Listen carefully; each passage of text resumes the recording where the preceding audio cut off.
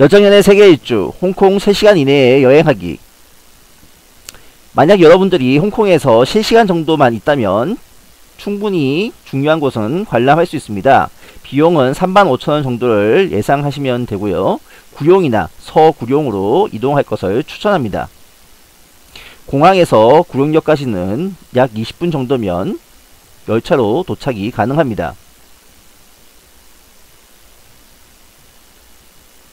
구룡역과 연결된 오스틴역에서는 이스터 침사추이로 이동이 가능합니다. 이스터 침사추이로 나오면 스타의 거리가 나오는데요. 이연걸, 홍금보, 엄청화의 손도장이 있는 거리입니다. 로스앤젤레스의 스타의 거리를 연상시키는 곳입니다.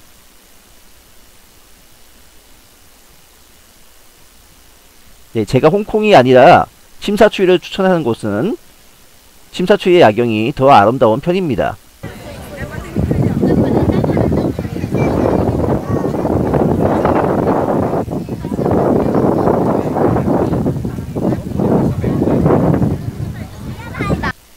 침사추이에 있는 시계탑을 지나면 스타페리의 탑승장이 나옵니다.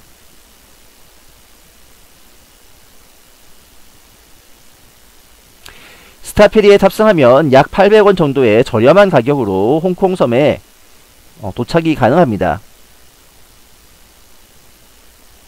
스타페리 선착장은 그렇게 큰 건물이 아니지만 쉽게 찾을 수 있습니다. 그리고 배를 약 6분간 타면 홍콩섬에 도착이 가능합니다.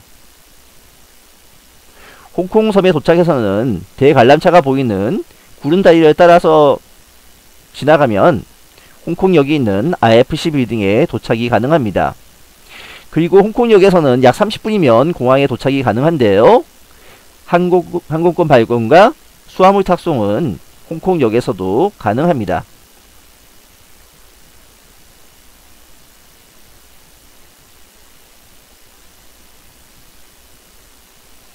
네, 여러분 지금까지 영상이 마음에 드셨, 드셨거나 해외여행, 세계 일주에 관심이 많다면 구독을 꼭 눌러주시기 바랍니다. 감사합니다.